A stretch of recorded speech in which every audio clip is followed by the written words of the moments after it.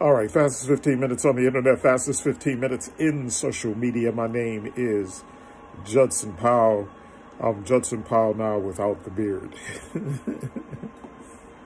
no, I had to, I had to shave the beard. I don't, was, plus I, I usually do that around this time of the year anyway. Plus, um, thanks to my wife, my wife keep telling me how old I look and it's all right. You know, I ain't mad at her. Um, anyway, um, so let me talk about uh, let me talk about Kwame Brown some more. Let me talk about some of the implications, uh, just of some of the stuff that he's saying, and, and that the fact that, of the matter is is that um, is that he he actually you know he actually is waking people up to what the real deal is, and some of these people, you know, Stephen Jackson and and uh, and Charlamagne tha God, and some other people have actually apologized to him uh, because you know once they once they figured out that what he was saying was true, then it was like a whole it was like a whole new ball game.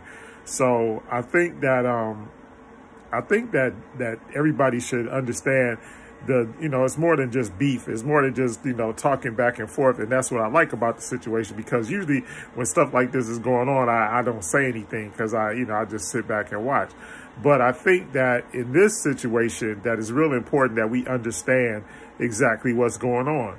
And what is actually going on is the fact of, um, is that Kwame Brown has exposed the system, the, the, the sports entertainment system and all that kind of stuff because what they don't realize is, and, and, you know, this is stuff that I've that I've long time long time ago started talking about, is the fact that you know if you don't have anything that you can offer them, then they vilify you and they get rid of you they they want to you know they talk bad about you or whatever and i believe a lot of that even even in the in the bill cosby situation and a lot of situations you know they didn't want to make that that man rich you realize like even before before he was convicted of a crime they had already taken off every single show that he had ever created in his life and, and we all know that there are that there are people out there that have done stuff. You know, they didn't do the same thing to uh, to uh, what's his name? Um, uh, I can't think of the guy, the, the white guy,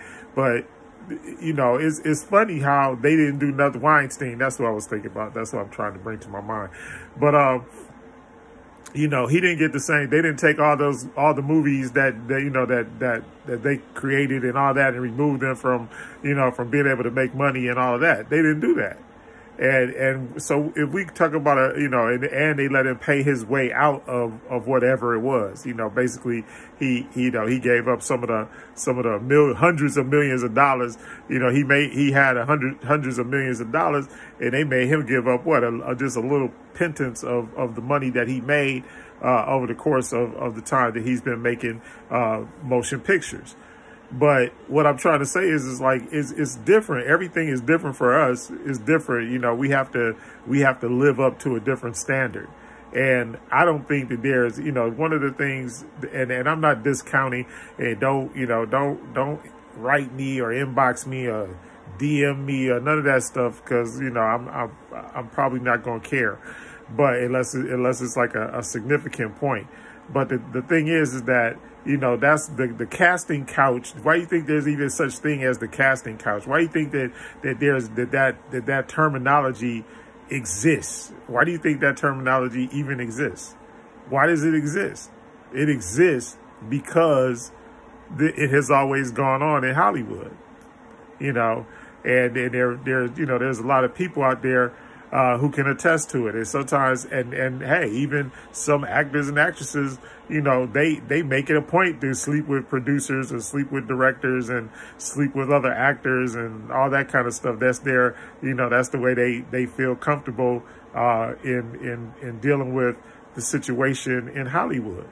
But we got to understand that, you know, that, that, you know, Bill Cosby is like 90 years old almost now and you know you put him in jail for 10 years at the end of his life and all the great things you know sometimes people do so much great stuff that that even if they did do something. And then the other thing is like i said why you know you you go back and pull up stuff that happens in the 70s and the 80s and all that kind of stuff and get all these people these you know if you were so traumatized why didn't you bring charges back then?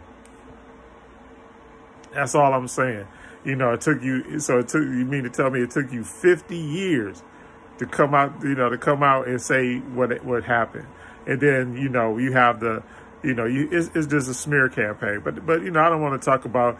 I, that's not what I want to talk about. But what I what I really want to get y'all to open your eyes to, to wake up to, and to become woke to, is the fact of Kwame Brown, okay, was drafted, right? Was drafted so he could be traded for Elton Brand. And if they thought that he wasn't a good player, he would have never been drafted first you know, the, and he was the youngest player ever to be drafted number one. He was a kid. You know, he was a young kid. And then, of course, and then they made him the poster child, of course, for the one and done rule. So they had to, they had to vilify him so that they could, so that they could start their de developmental league.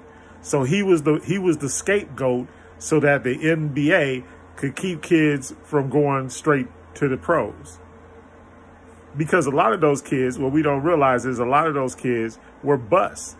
And, you know, and, and, it, and it was just because what? They weren't mature enough. And they, you know, they hadn't had, they didn't have anybody uh, in their corner to tell them what was going on.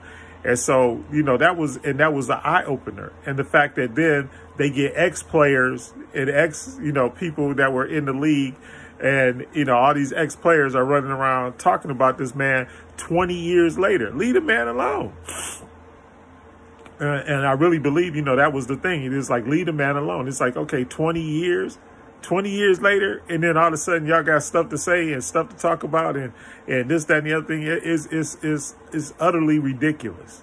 And I think that, uh, you know, we all need to, we all need to wake up you know, to what really goes on. The same thing happens in the entertainment business. Just like right now, everybody thinks, you know, it's like, it's like, and I, was talking to my, to my, um, to my young son about this. And I'm like, you know, what is the deal? You know, the, the whole thing now to be, to be successful as a rapper, uh, you have to, you know, you have, either have to shoot somebody, you have to get shot.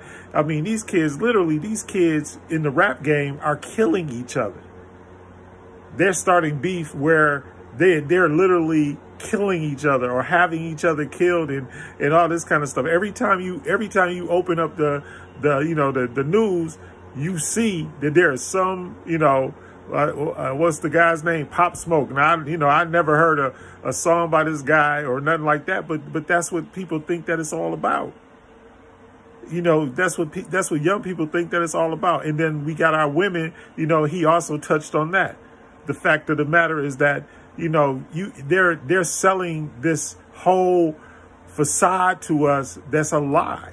You ain't gotta, you know, why you ain't gotta be tough. You ain't no tough guy. So then what happens? You kill a person, then you you might as well say you killed and, and, you know we talk about this all the time you might as well say you killed two people why because the the person that got murdered is dead and the person that murdered them is going to jail for life or to the or to the you know to the electric chair, depending on where you are and what state you're in. So we gotta, you know, those are those are things that you gotta you gotta really think about, and and our kids are literally locked up into this. The same, you know, that's what you know, and it's a spirit, it's an evil spirit. Even the whole thing, you know, everybody doesn't realize, and I'm and I'm gonna go comedic on y'all, but y'all don't realize half of this stuff is spiritual. These are spells that have been placed upon our people um, you know, for, for, for 400 years. And that's why it's hard to break. But, you know, go, go, go check out the papyrus or the hieroglyphs or anything like that. Get the, uh, the Egyptian Book of the Dead. There's nothing in there about murdering people and all of this kind of stuff because that wasn't, uh, that, that's not our, that's not our purview. That's not what we did. That's not what we do. That's not what we should do. You know, so if you got if you got to kill somebody or join a gang and you know all that stuff and the reason why they put this stuff in front of you why do you think they put all this stuff in front of you? Why do you think they put biggie and tupac and nipsey hussle and ice cube? You know i know ice cube's still alive but ice cube and snoop dogg and all these people. Why do you think those people are the ones that are selling the products, pushing the products and all that kind of stuff? And the reason why is because they don't want you to see a black doctor or a black lawyer or a black inventor or a black engineer or a black accountant. They don't want you to see those people. They don't want you to see those people because then your dream might end up differently. But if I can get you to to aspire to thug life and to be a thug and to be hard and all that, that's the same thing that that we got Meg the Stallion and Cardi B are doing. You know, they're over sexualizing. There's no reason that, you know, strip clubs and making it rain and, and popping bottles and all of that kind of stuff. That's the, that's the, the thing that our kids aspire to. And y'all know I'm telling the truth. I'm not lying on anybody and I'm not being a hater or anything like that. But people are dying because of this. They're dying because of, of the culture and they're dying because of what they think they have to do in order to be successful. We not telling them, you know, I, I, remember I remember when I first got to Hampton University and, and we were having this uh, this this thing and they were talking about and they were like, you know, you have you know, there there are only so many jobs in the NFL and so many jobs in Major League Baseball and so many jobs, you know, in, in basketball or whatever. And and your chances of getting those jobs are are slim and none. Right? And then, and, and because, and, and the other thing is, and as you saw that they didn't draft now one black guy from a HBCU in the, in the NFL draft this year. You know, not, not one. So, you know, so, so tell me what's up. You know, so, so, you know, and that's, and that's because they, it's, it's another form of, of systemic racism and what else? In, in, in white nationalism. You know, and the, and the NFL is about as racist as it comes, about as racist as it comes. And as long as you, you know, and, and, and, and they don't want you to be able to do anything outside of, of what they trying to tell you to do or what they, or what they think you should do.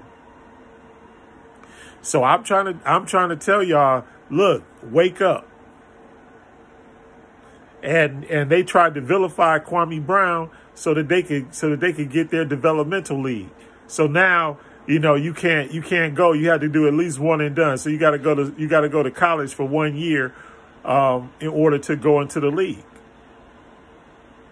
And so what do they do? They go and they say, well, this guy he came out as a you know as a as a freshman and he was a he was a you know I mean not a freshman but he came out uh, straight out of high school and he was a bust and and they still talking about he was a bust 20 years later. Why? So that they could keep the developmental league going. So that they can keep all that stuff going. Why? So they can get more money off of the players. Because I don't have to pay you. I, I can send you to D League and I don't have to pay you. And then when you come from D League, I can say, well, you know, uh, you weren't a first, you know, you weren't a first round draft choice or nothing like that. So we can only pay you so much money. And the other thing that he talked about here, I'm, I'm gonna touch on this right quick because I got about two minutes left. Look, he was talking about um, um, Mr. Ball, you know, the two, the two, um, ah, I can never think of their names. Anyway, the Ball brothers that are in the NBA, and they keep vilifying their daddy. Why? Their daddy made them successful you know, and you should talk like that about your kid. If you're not if you're not taking care of your kid and talk about your kid like that, then you what kind of father are you? You know, I want I want all my children to be successful. You know, I think I I think I you know I pray that uh, significantly over the course of all their lives. That I want the best for them and all that. And, and, you know, so you look at people like Tiger Woods and like Serena Williams and, and, you know, all these, uh, uh, other athletes whose, whose parents, uh, you know, paid out money and went to all the games and sat there and did all this and did that so that they could be successful. But Kwame Brown said, hey, look, I was a kid that had no shoes on his feet, no food in his mouth, you know, and at 18 years old, I was able to move my mother to the golf course. and that's what they don't want you to know. That's what they don't want you to know. They do not want you to know. They want you to stay, they want you to stay dazed and confused. So don't be dazed and confused. Wake up, y'all. And then, like I said, and once again, do not forget that all of this stuff is ritualistic and spiritual. You got to you got to understand your you got to understand yourself. And that's one thing that I love about Kwame Brown because he understands himself. He understands what? His mama's cooking. I thank, thank you, Kwame Brown. Fastest 15 minutes is up. In fact, I went over a little bit. Love you.